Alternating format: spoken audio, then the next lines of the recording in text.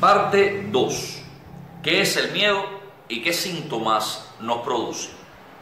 El miedo es una emoción primaria, primitiva y básica de nuestro instinto de conservación, que sirve para preservar nuestra vida, para protegernos frente al peligro. No es nuestro enemigo y si se volviese así, tenemos que tratar de que se vuelva nuestro aliado. El cubano, con su manera peculiar de ser, siempre te dirá, yo no le tengo miedo a nada ni a nadie. Escucha frases cotidianas como estas, donde hay hombre, no hay fantasmas. Este tiene más que maceo. Los cubanos odian que lo subestimen y te salen con otra frase como esta. Tú no me calculas y al final el miedo está ahí. Es algo incíntrico en cada uno de nosotros. El miedo nos paraliza, nos bloquea, nos neutraliza, nos hace huir del peligro el miedo genera ansiedad y tensión, pero debemos enfrentarlo y verlo como un desafío existencial, no como una amenaza en sí. La seguridad del Estado estudia este comportamiento humano y lo lleva a su máxima expresión en sus prácticas represoras. Te crea el terror y eso es fatal para todos, ya que es la máxima expresión del miedo. Manipula esa información y juega sus fichas con ella. Te hace aprender esa lección de la peor manera. A nadie le gusta que lo apresen, le pongan esposas bien apretadas a las muñecas, lo encierren en una celda de castigo pestilente y mucho más cuando conscientemente sabes de antemano que es algo arbitrario, porque sí, porque mandan y más cuando no estamos habituados a esas situaciones en nuestras vidas. Incluso te inculcan una especie de vergüenza y te hacen hasta creer que pensar distinto o disentir de sus criterios comunistas es algo malo.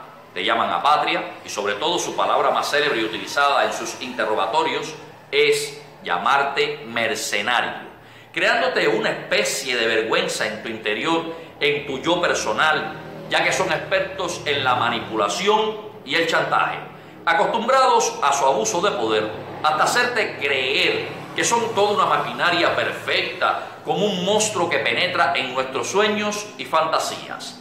Juegan con tu decoro y dignidad al sentirte cuando te meten en un carro patrullero, en un vil malhechor, delincuente sin serlo.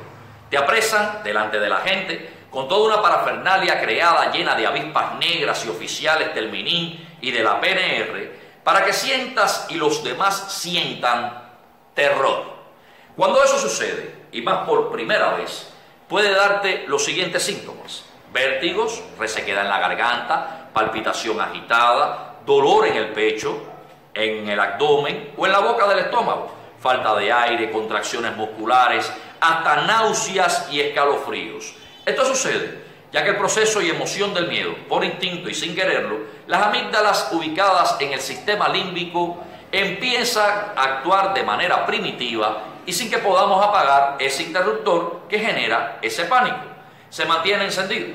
Por ello, debemos de tratar, saber regular esas angustias y ese momento, esa emoción que no queremos sentir, pero que de manera innata sentimos todos. Y digo todos sin excepciones. Por eso debemos prepararnos de antemano para combatir de manera eficaz nuestros miedos. Hasta aquí la segunda parte de este taller conferencial y audiovisual, donde aprendiste qué es el miedo y cuáles son los síntomas que siente cada uno de nosotros cuando hace su aparición. Recuerda, no hay cosa que tenga tanto miedo como del miedo en sí mismo.